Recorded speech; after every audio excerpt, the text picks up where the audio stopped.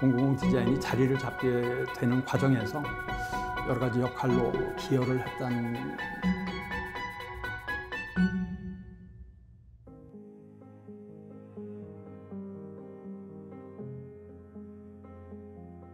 디자이너라면 서양 디자인과 경쟁을 하려면 서양을 알아야 된다고 저는 생각해요. 너무 몰랐어요, 우리는. 제가 그런 과정을 거쳐서 교직을 마치기까지 마, 그 말년에 제가 힘을 쏟았던 것이 제가 경험했던, 제가 알아냈던 그런 것들을 제 다음 세대한테 전해주려고 하는 게 제 역할이었다고 생각합니다. 저는 어, 교직을 했는데 교직을 하기 이전에는 광고 디자인 회사에서 한 7년 어, 실무 디자이너로 근무를 했었습니다. 어, 지금은 이제 LG 에드라고 이름이 바뀌었습니다만 그때는 이제 삼희 기획이라고 그래서 그래서 이제 국내 오디오뿐만 아니라 해외로 수출되는 오디오 모델에 대한 포스터, 캐달로, 뭐 신문 광고, 잡지 광고 뭐 이런 것들을 디자인하는 역할을 맡았었는데요. 디자인, 뭐 학교에서 디자인을 전공하긴 했지만 어, 실무에서 상당히 그 뭐랄까요 내공을 쌓을 수 있는 어, 시간이었었다고 생각이 듭니다. 그것을 바탕으로 해서 어, 디자인 교육으로 어, 그 교직을 하게 되면서 28년 동안 컴퓨터를 응용한 어, 디자인 교육을 쭉 담당해 왔었습니다. 86 아시안 게임서부터 이제 88 올림픽을 홍보하는 컴퓨터로 만들어진 영상을 제작해서 국내에서 방송을 하기 시작했어요. 국내 광고 분야에 있던 사람들은 다 저게 광고의 미래다 또는 디자인의 미래다. 앞으로는 디자인 분야에서도 컴퓨터의 도입으로 뭔가가 뭐 혁신적으로 달라질 것이다. 말은 그렇게 했지만 국내에서 컴퓨터로 디자인할 수 있는 기반이 전혀 없었으니까요. 87년에 제가 이제 미국으로 공부를 하러 가게 되었습니다. 근데 그때 이제 막 미국 어, 디자인 대학에서도 뭐 어, 컴퓨터 그래픽스 학과가 미국 최초로 어, 개설이 됐어요. 광고나 디자인의 미래를 컴퓨터와 연결져서 얘기들을 하고 있던 차에 어, 디자인 학과가 생겼으니까 저는 기회다 하고서 이제 그쪽으로 과를 옮기고 공부가 91년도에 끝나고 어, 한국에 돌아왔을 때 한국에서도 각 디자인 대학들, 디자인 학과들마다 어, 이제는 컴퓨터로 디자인을 해야 되는 시대가 왔다. 그때 이제 84년에 맥킨토시가 등장하고 나서 우리나라에 87년부터인가 맥킨토시가 보급되기 시작하고 90년대 들어서면서 이제 그 맥킨토시 안에 뭐 포토샵이니 무슨 디자인을 할 수 있는 여러 가지 소프트웨어들이 나오게 됨에 따라서 90년대에서부터 디자인학과에서 컴퓨터로 디자인하는 방법을 가르칠 수 있는 교수를 찾았는데 없는 거예요, 국내에는.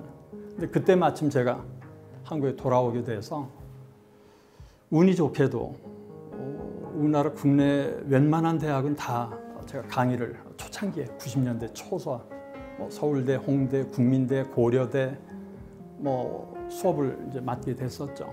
국내 컴퓨터가 도입됐던 초기에 어, 그렇게 디자인 교육에 있어서 어, 컴퓨터를 이용한 여러 가지 어, 디자인하는 방법 또 그 디자인을 통해서 이제 뭐 종전에 아날로그 우리 세대가 했던 디자인하는 방법과는 전혀 다른 어, 방법으로 어, 디자인을 하게 되는 교육을 제가 운이 좋게도 누구보다도 먼저 그런 걸 공부하고 돌아왔기 때문에 초기에 그런 좀 뭐랄까 하나의 어떤 초석을 놨다는 역할로 이제 저는 그런 역할을 했다고 생각합니다. 예. 20세기의 디자인을 배웠고 20세기의 디자인을 수행해왔던 사람이죠. 말하자면 아날로그 시대 디자인을 했던 사람이 디지털 시대의 디자인을 담당하는 학생들을 교육해야 되는 입장인 거죠. 그래서 저는 그것을 제, 저는 제 역할은 다리 역할이라고 생각을 했어요. 제가 어, 삼성전자 어, 자문 교수를 7년을 하면서 그 삼성 디자인 멤버십 교육을 7년을 또 제가 담당을 했었습니다. 국내에서 뭐 유수한 대학에 난다 긴다 하는 학생들이 다 거기 이제 몰려들었죠. 삼성전자로 입사할 수 있는 기회가 주어지니까요. 거기서는 대학에서 할 수 없었던 그런 어떤 교육적인 방법을 예를 들면 대학에서는 시각 디자인, 산업 디자인이라고 확실하게 구분되어 있었는데 시각 디자인 전공 학생하고 산업 디자인 전공 학생 같이 협업을 해라. 제가 몸담고 있던 대학에서도 이제 그런 개념을 소개를 하고 기업에서 이런 것을 원한다. 2006년도에 공공 디자인이라고 하는 것을 처음 이제 제안을 한 거죠. 근데 국내 디자인 분야에서는 그것을 이해하지를 못했어요. 그래서 이제 서울시에 디자인을 담당하는 행정부시장을 만들어서 권영호 교수님을 서울시로 모셨고 또 실제 그것을 실행할 수 있는 조직으로 서울시 디자인위원회 같은 것들이 만들어졌고 저도 이제 디자인위원회에 참여를 해서 서울시 디자인위원회 위원으로 활동을 했었고요. 디자인을 작업하는 일보다는 공공 개념, 공공 디자인이 뭔지, 공공 의식이라는 게 뭔지 이런 것들을 자료로 만들어서 권영걸 교수님이 그때 이제 행정부시장을 하셨으니까 공무원들을 따로 모이라고 해서 교육도 하시고 그런 일들을 주로 해왔죠.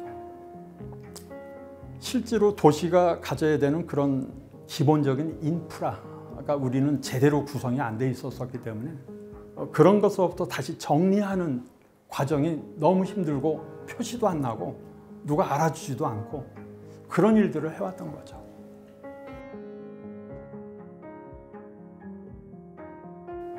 원주 시장님께서 이런 공공 디자인에 도시형 디자인, 농촌형 디자인이 따로 있는 게 아니다.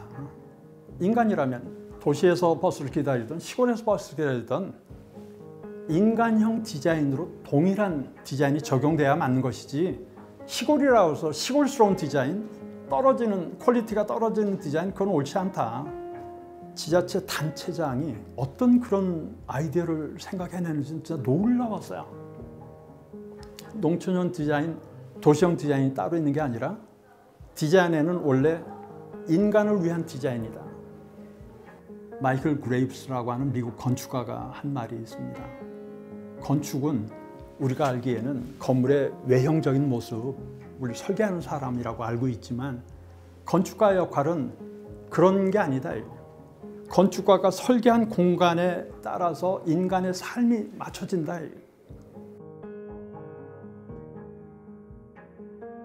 디자인은 attitude다 라고 하는 말이 있어요. attitude란 말은 어, 삶에 대한 태도, 마음가짐 뭐 이런 겁니다. 공공 디자인이라고 하는 것은 다른 사람을 위해서 배려하는 공간 뭐 이런 거라는 거죠. 그러니까 그런 마인드가 먼저 있어야 디자인이 성립되는 것이지 디자인을 해놨다고 해서 그것이 다가 아니라는 거죠. 선진국이 경험해왔던 그런 많은 것들을 우리 스스로의 역사에서 경험해 본 적이 없기 때문에 그런 거를 많이 경험했으면 좋겠어요. 요즘은 그래도 젊은 사람들이 외국도 많이 나가고 어, 외국에서 어떤 어, 삶이나 뭐 이런 것들을 많이 경험하고 돌아오니까 그런 것들이 우리 사회 안에서 사회 구성원으로서 좀 더 성숙된 시민 의식을 가지고 저는 디자이너들에게 이런 거를 강조합니다. 그래서 디자인하기 이전에 어, 그런 어프로치가 필요하다. 선진국 사람들이 어떤 디자인을 하는 데 있어서 그냥 외형적인 것만은 단순하게 만들어낸 것이 아니다. 그 사람들의 삶을 들여다보라 그럽니다.